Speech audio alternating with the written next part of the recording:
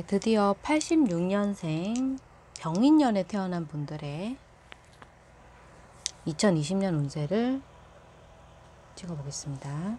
제가 보는 것은 사주가 필요 없는 주역 전복 주사위로 보는 부분이고요. 네, 생년월일 일시가 필요 없습니다. 86년에 태어나신 분들의 운입니다. 2020년 내년 이제 몇 달 남지 않았네요. 자, 나왔습니다.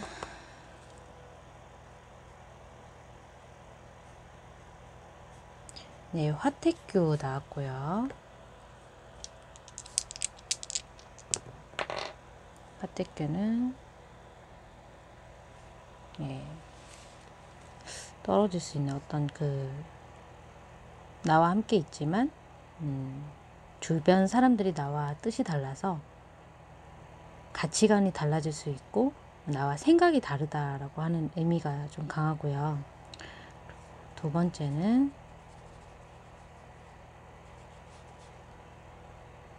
음, 요거는 태풍 대가가 났네요.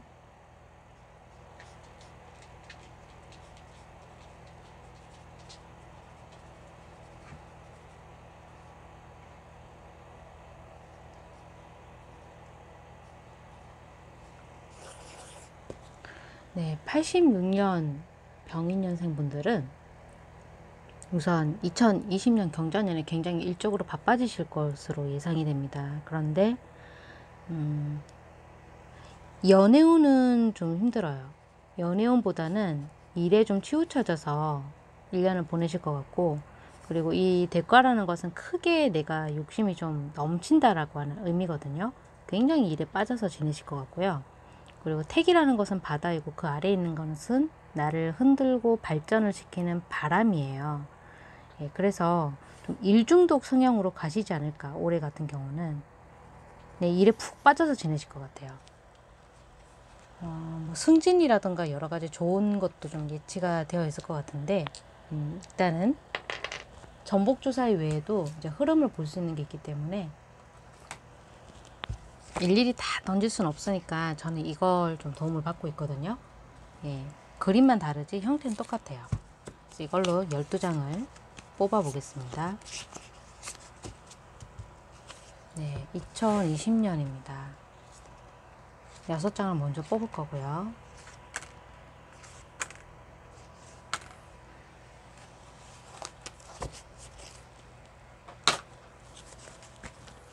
이것도 6장을 뽑아 보겠습니다.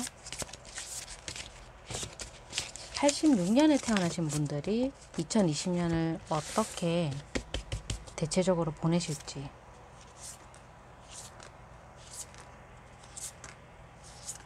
네, 언제나 말씀드리지만 운세는 재미삼아 봐주시고 너무 맹신은 금물입니다. 본인이 거기에 끌려갈 수 있어요. 생각하는 대로 움직이는 부분이 운세입니다. 아, 아직 다가오지 않은 부분이잖아요. 예, 세팅이 돼 있고 정해진 부분이 아니에요. 태어날 때 저희가 부모를 정할 수 없듯이 본인이 가지고 있는 환경을 결정할 수 있는 건 아니지만 예, 지금 이제 30대 막 시작하신 분들이나 예, 30대 중반부터 경우는 본인이 어떻게 생각하고 어떻게 노력하냐에 따라서 인생이 정말 많이 달라질 수가 있어요. 항상 운세의 키워드 본인이 생각하는 대로 움직인다는 것. 얼굴 형태도 많이 바뀔 거고요. 자, 보겠습니다.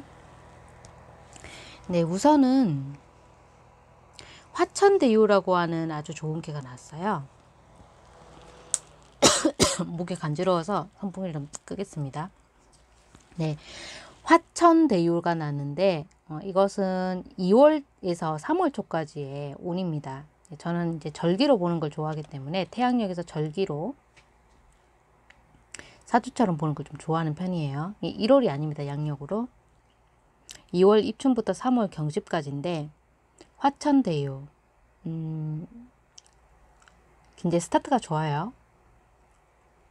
하늘이 백그라운드고 하늘 위에 태양이 뜬 모습입니다. 그리고 큰 의미가 있다, 큰 뜻이 있다라고 하는 예, 괴입니다. 예, 굉장히 좋습니다. 회사에서도 입지가 괜찮고 음, 그리고 혹시라도 본인이 어떤 뜻한 바가 있어서 회사를 그만두고 사업을 하신다고 한다면 그 사업은 올바른 방향이라고 합니다. 자 이제 3월입니다. 이제 거머쥐게 된 것은 3월이고요. 예, 지금 요것은 음, 풍산점이라고 하는 괴거든요. 예, 풍산점은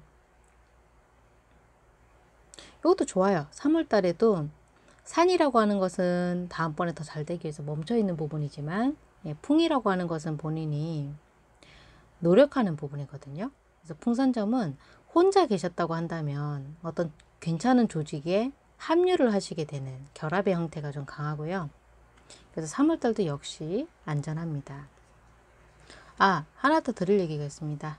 드릴 말씀이 있는데 어, 풍산점에는 또 어떤 게 들어있냐면 혹시 연애를 하시다가 헤어지신 분들 예, 이건 이제 여자분들이 좀 많이 보시는 편으로 알고 있거든요. 제 운세 방송을 어, 재회도 3월달에 가능하세요. 사람 따라 다를 수 있지만 네, 3월에도 재회운이 있겠네요. 그 이전에 이별하신 분들 말씀드린 거고요. 자 이제 4월달입니다. 4월달은 음, 삼풍고라고 하는 건데 지금 그림 보시면은 뭔가 쌓다가 주변에 이제 무너진 거 보이시죠? 예. 네. 그러니까 이거는 지금 4월 달에서 4월 초에서 5월 초에 해당하는 운이거든요. 어, 좀 조심하셔야 돼요.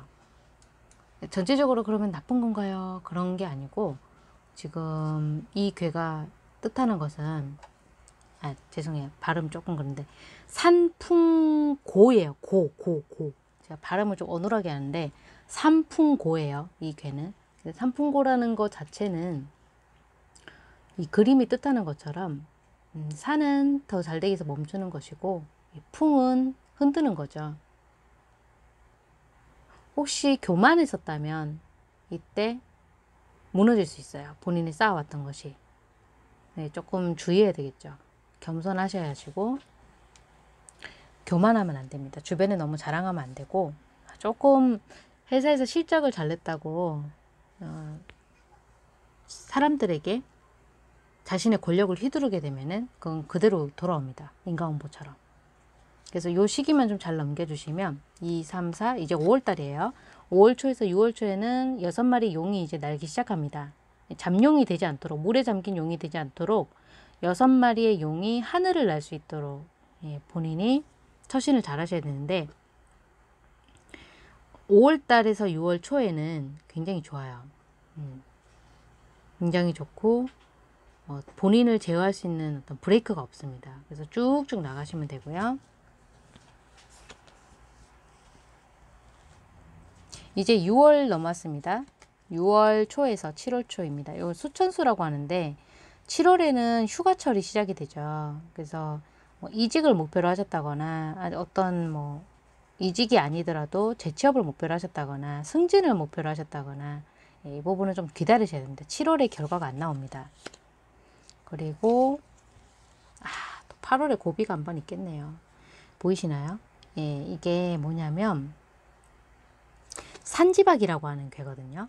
예, 이게 8월에 들어와요. 그래서 8월에 위기가 옵니다. 뭐 회사 소속이 바뀐다거나 혹은 본인이 원룸이나 투룸에서 잘 살고 있는데 갑자기 주인이 리모델링을 한다면서 집을 이사를 요구를 할 수도 있어요. 다른 곳으로 이사를 가시라고. 혹은 회사에 입사한 지가 얼마 안 됐는데 예, 그 회사에서 다른 회사로 합병이 되어서 본인의 소속이 더 안 좋은 곳으로 바뀐다거나 어, 어쩔 수 없이 또 이직을 할 수밖에 없는 뭐 투자가 끊긴다거나 사기를 당할 수도 있죠. 근데 범띠분들 같은 경우는 저는 사기는 염려를 안 하는데 개인에 따라서 틀릴 수 있으니까 8월에 이 위기는 가볍게 넘길 수 있는 부분은 아니고 개인적으로 좀 큰 위기에 해당이 돼요. 내가 가지고 있는 목돈이 있는데 주변에서 그 목돈을 달라고 한다던가 그 목돈을 줄 수밖에 없는 상황. 어, 그리고 연애운으로 대입을 해보자면은 이별운도 좀 강하죠. 8월 달에. 여름 휴가를 같이 다녀왔는데 크게 싸우고 헤어질 수도 있고 조심하는 게 좋겠습니다. 9월입니다. 2, 3, 4, 5, 6, 7월에서 8월 초? 맞죠? 예. 6월 2, 3, 4, 5, 6, 7. 예, 이제 8월에서 9월 초가 되겠네요. 8월 초에서 9월 초인데, 음, 요거는 쥐레복이라고 하는 괴거든요. 쥐레복이라고 하는 것은 땅 아래에 천둥번개가 숨어 있는 부분이고 이제 어마어마한 힘이 올라오고 있는 부분이에요. 이제 새로 시작을 하실 거예요. 8월 초에서 9월 달 정도에. 어, 근데 이것은 굉장히 좋은 괴예요. 만약에 잘못된 길을 가고 있었다고 한다면 잘못된 인연이나 잘못된 조직을 떠날 수 있는 절호의 기회고 내가 손을 뗄 수 있는 기회예요. 그리고 이제 9월 달로 넘어갑니다. 9월에서 10월 초에 해당이 되는데요. 지금 제가 들고 있는 거. 이거는 네, 풍수 예, 요거는 풍수안이라고 하는 게인데요. 음, 요거는 또 어떤 뜻이냐면 풍수안 같은 경우에는 내가 잃었던 것을 회복을 할 수 있는 게거든요. 돌아오는 거예요. 힘들어서 해외로 도피를 하셨다면 국내로 돌아올 수도 있고 어, 떤 회사가 힘들어가지고 다른 회사로 어, 대기업에서 아주 다른 곳으로 옮겼는데 내가 커리어도 다 그냥 포기하고 근데 원래 회사로 다시 돌아올 수도 있는 그런 운이에요. 네. 그리고 여성분들은 제외할 수 있는 운도 들어옵니다. 자, 이제 10월달 10월 초에서 11월 초입니다. 이때는 무슨 개냐? 리위화라고 합니다. 아주 좋아요. 연애 중이신 분들 혹은 재회를 하셨던 분들은 한동안 본인의 전성기를 즐길 수 있습니다. 회사운도 마찬가지고 사업운도 마찬가지입니다. 예, 운적으로 굉장히 좋아요. 본인이 하고 싶은 대로 다 할 수 있어요. 10월달은 전성기라고 볼 수 있고요. 자, 이제 11월 초에서 12월 초 한번 볼까요? 이때는 음, 내풍왕이라고 하는 괴인데 본인이 지고 있는 것을 잃지 않고 그대로 유지할 수 있습니다. 쭉쭉 나갑니다. 쭉쭉. 네, 역시 11월, 12, 10월, 11월 굉장히 좋네요.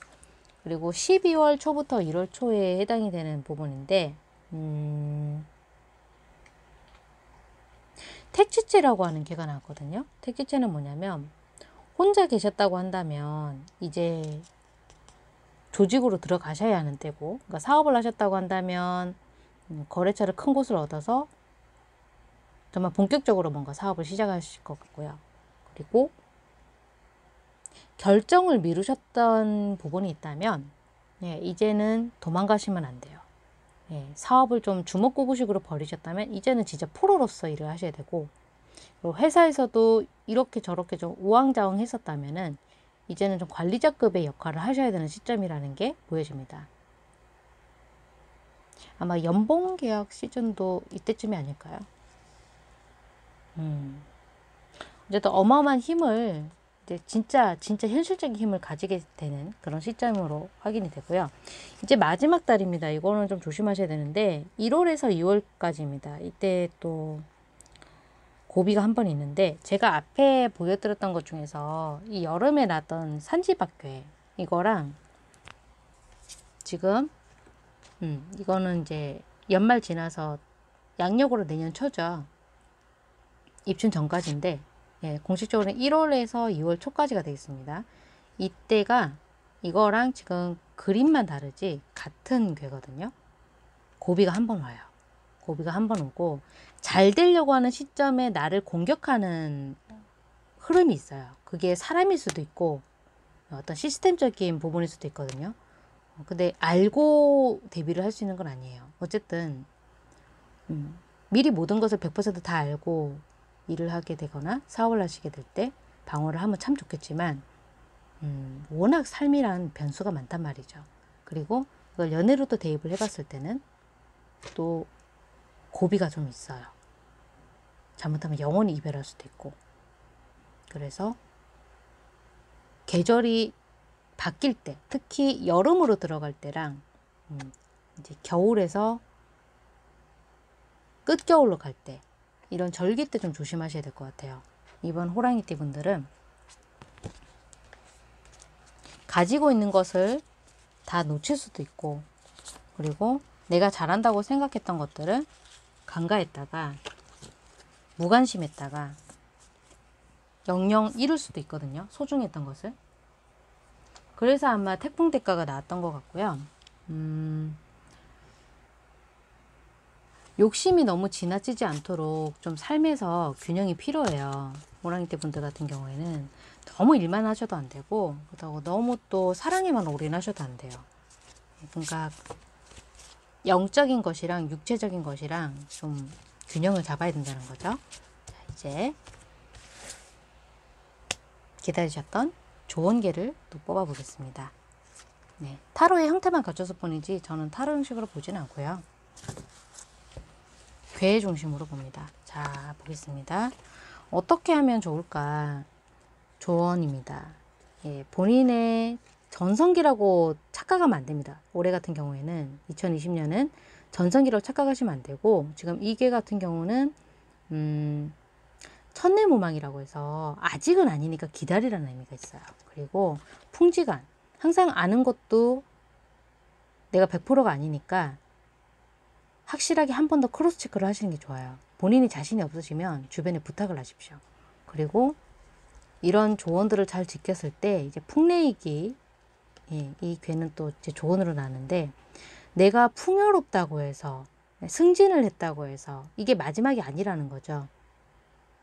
더 조심해야 하고 더 겸손해야 합니다.